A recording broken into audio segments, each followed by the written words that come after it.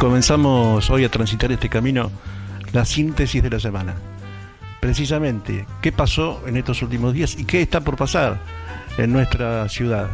Hubo novedades. Hoy, por ejemplo, se presentó el Código de Planeamiento Urbano, el nomenclador de calle, con datos interesantes y desconocidos. A eso nos vamos a referir específicamente en una próxima oportunidad. Quizá el tema más mediático en principio fue el tema de minoridad de infancia, niñez, adolescencia. En dos aspectos, en un aspecto muy muy personal de una vecina de nuestra ciudad que hizo denuncias públicas, en otro caso el hogar Golondrinas. En ambos casos y a ambos casos se refirió la responsable del servicio local, la doctora Analia Miranda, junto a la doctora Lorena Fresero. Ambas escaron y dieron conceptos importantes al respecto de cómo se debe manejar el tema de la minoridad.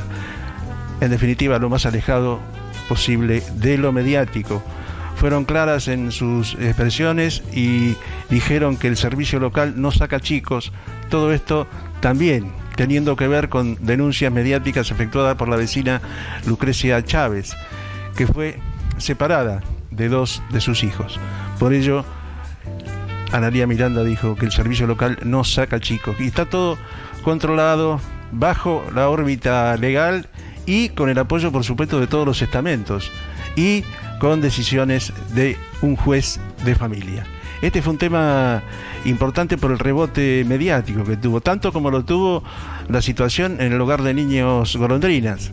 También se paró las situaciones y dijo que el servicio local solo está para velar por la seguridad y la garantía de los niños y de los adolescentes y que todas las cuestiones legales que tengan que ver en este sentido con el hogar de niños golondrinas tendrán que ir a esa órbita y que la provincia tendrá que resolver en definitiva cómo sigue la situación de esta comisión normalizadora elegida días atrás.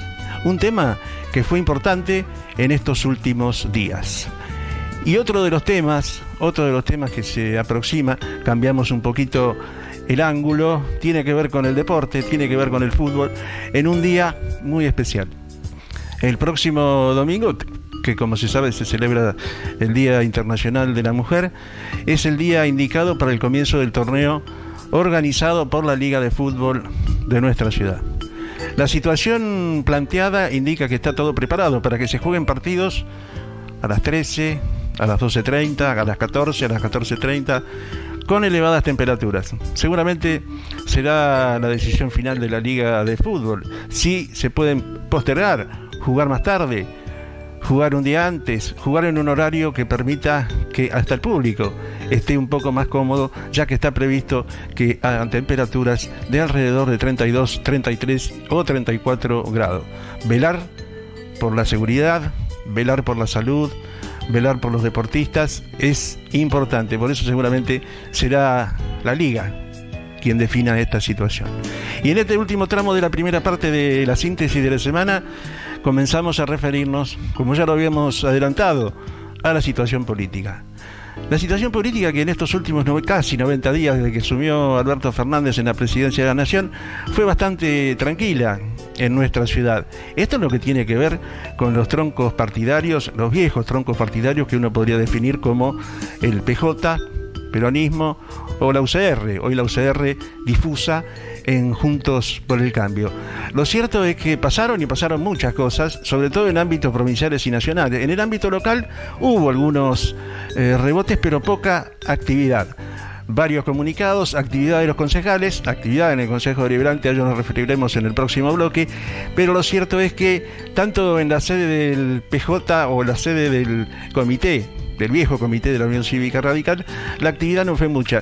Y ciertamente no es mucha la actividad durante los meses de verano en ningún lugar, no es solo una característica de Saradillo. Pero iremos profundizando y ahondando en qué es lo que viene este año 2020 no es un año electoral, como se los define, sí seguramente el año 2021. Y a mediados ya de, este año, marzo, abril, mayo, junio, comenzarán a moverse y a encenderse los motores. ¿Hay disputas? Sí, hay disputas. en el radicalismo y en el peronismo, o en el justicialismo y en el radicalismo y en Junto por Sí, hay disputas. A eso también nos vamos a referir en esta serie de programas que se inicia hoy. Les propongo ahora hacer una pequeña pausa y ya seguimos con la segunda parte de la síntesis de la semana.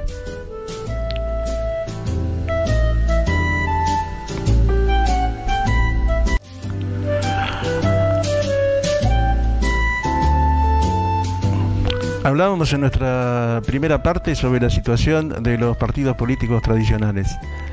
Y hay que decir, como recordatorio, algunos de los partidos políticos que, participaron en las elecciones del 27 de octubre todavía tienen colgados carteles en el centro de la ciudad. Sería interesante que ya los retiraran. Pero nos referiremos ahora al Consejo Deliberante y a la actividad, incipiente actividad del Consejo Deliberante, porque todavía no han sido inauguradas las sesiones ordinarias, algo que sucederá en los próximos días. Pero sí hubo movimiento y hubo sesiones que tienen que ver con lo que ya decíamos hoy sobre el Día Internacional de la Mujer. Habrá homenajes, hay homenajes programados, uno es el viernes 6, después hay otras actividades, todas vinculadas al Día de la Mujer, pero en el Consejo Deliberante ya se produjeron algunas chispitas por un tema realmente menor.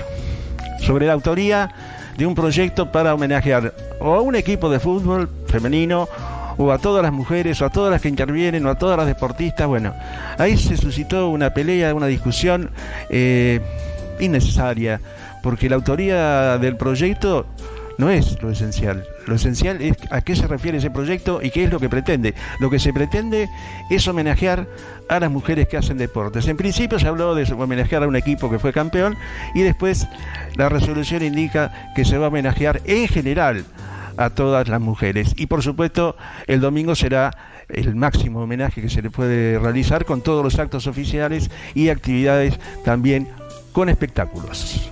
Otro tema, vamos mechando nos vamos al Hospital Posadas. El Hospital Posadas estuvo en el ojo de la tormenta también en las últimas semanas con algunos casos y algunas denuncias sobre situaciones planteadas en algunos sectores. Pero también desde ya avanzado diciembre, lo que se imaginaba que iba a ser, no un trámite, pero sí una resolución mucho más rápida de la eh, situación en la dirección del Hospital Posada, no fue así.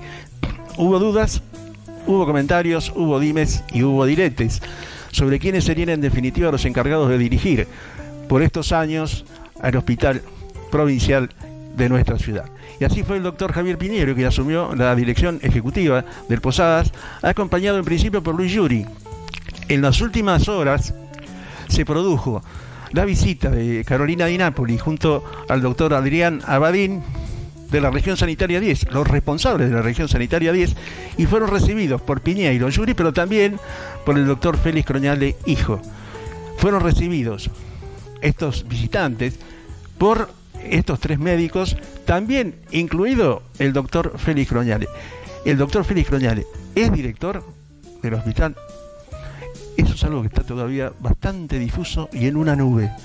Esperemos que se resuelvan las situaciones para que se puedan, en definitiva, ir mejorando algunos aspectos. Por ejemplo, lo de la vacunación, que puede tener una solución, empieza a tener una solución con la vacuna Membeo, que tiene que ver con la meningitis y que había sido retirada de, los, de las estructuras del Ministerio de Salud por el gobierno de Mauricio Macri. Esa vacuna ha llegado a la región sanitaria es muy importante la vacunación contra el meningococo. Un dato importante, ya está la vacuna en nuestra ciudad. Lo que no está todavía es la definición absoluta de la dirección. Habrá que esperar, habrá que esperar.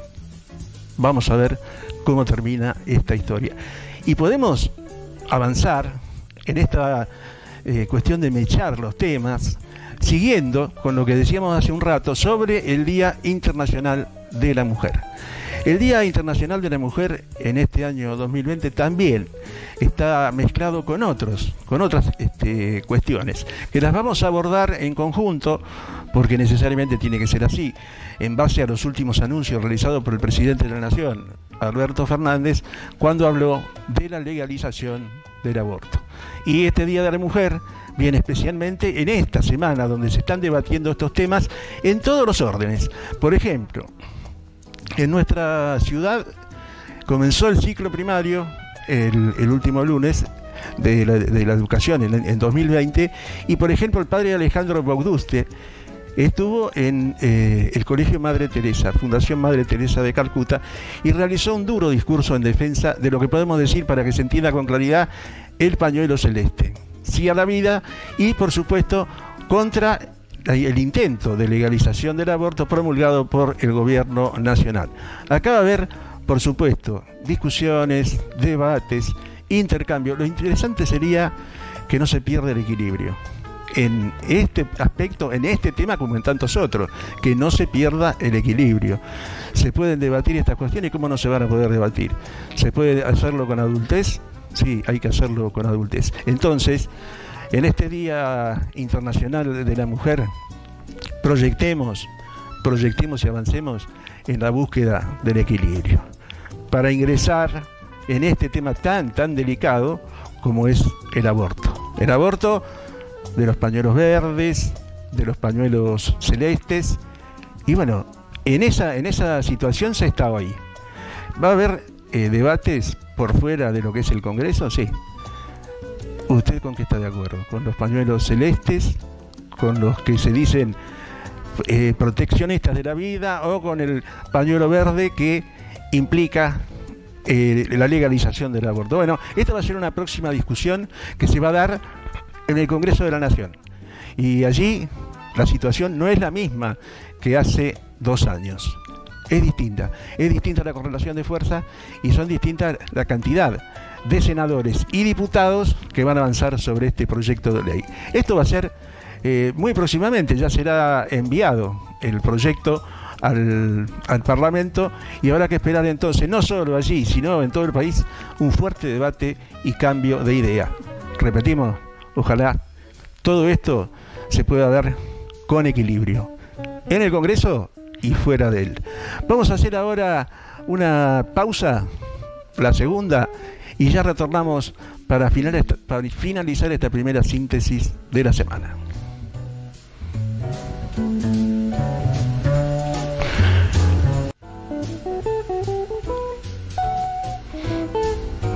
Tercer segmento de la síntesis de la semana. Y en, este, en esta ocasión vamos a hablar de otro tema que fue abordado muy parcialmente recién cuando hablábamos del Hospital Posadas, que tiene que ver con los organismos provinciales y nacionales en Saladillo. ¿Quién cubrirá los cargos en ANSES, en IOMA, en PAMI, en IPS? ¿Quiénes serán allí los responsables? Hay organismos que son nacionales, como el caso del PAMI y hay organismos provinciales como lo son el IOMA, el IPS y otras cuestiones vinculadas a la educación como el Tribunal Descentralizado o como las jefaturas regionales y distritales en la educación. Hubo sorpresas, sobre todo aquí en nuestra ciudad, cuando se esperaba una definición en cuanto a quién sería la inspectora jefa regional y muchos decían que podía ser la saravillense, la profesora Danélida Polimeno, y no fue así. Fue nombrada Yolanda Cejas, de Lobos, que es otra sección electoral, no es la séptima sección electoral, pero sí es la región educativa. Fue nombrada Yolanda Cejas, ya hizo su presentación, ya asumió su cargo y todavía no se sabe, no se conoce hasta hoy, hasta ayer, quién sería la jefa distrital. ¿Hay ronda de nombres? Sí, hay ronda de nombres. ¿Hay ronda de nombres en Yoma? No tantas. En PAMI, casi ninguna. En IPS, tampoco habría dudas, pero no hay nombramientos. Tribunal descentralizado, jefa distrital, peleas, discusiones, sí. Quizá demasiadas en Saladillo. Quizá no las hubo en otros lugares y en, otros, en otras ciudades sí, exactamente la misma disputa y la misma pelea por los cargos. Es decir, han cambiado muchas cuestiones desde diciembre hasta hoy, pero hay todavía vestigios y rasgos de la vieja política que no han sido superados hay diferentes ideas, en algunos casos hay coincidencia, pero hay peleas más bien personales en muchos aspectos y en muchos estamentos que superan a lo que pudiera ser el equilibrio y la unidad. Aquella de la que hablaban, y hablando concretamente del Frente de Todos, tanto Cristina Fernández como Alberto Fernández en la campaña electoral. Seguramente no pasará eh, el mes de marzo sin que surjan novedades. Habrá novedades, seguramente. No se pueden dar nombres muchos están en danza y ya se conocen, pero no hay definiciones concretas, no hay nombramientos concretos. Es de esperar que no pase muchos más días antes de que esta situación se defina. Y hablando de días, se acerca otra vez el último primer día. Y el último primer día denominado UPD, UPD es aquel día en que los estudiantes secundarios, desde la noche anterior, hacen guardia para esperar el ingreso al establecimiento educativo, en este caso el establecimiento educativo secundario. Uno calcula que dentro de muy pocos años hasta los gateadores de los jardines maternales harán su PD con mamaderas en la plaza, porque realmente ya eh, han llegado al límite de la exageración en muchas cuestiones y es de esperar que no haya desbordes, que no haya desbordes como los hubieron en los últimos años en algunas ocasiones. Otra vez, como en tantos otros temas, creo que debe primar el equilibrio entre los chicos. Porque estas peleas del Instituto Niño Jesús, el industrial, el nacional, peleas y disputas, insultos, pintadas en las escuelas, rotura de vidrio, padres que se tienen que hacer cargo, ya aburre, aburre y, se han dado cuenta que al andar unos meses después vuelven a estar todos juntos y terminan estando todos juntos en la bajada. Bueno, equilibrio. Lo único que se le puede pedir, equilibrio y sobre todo dejar descansar a todos nuestros vecinos.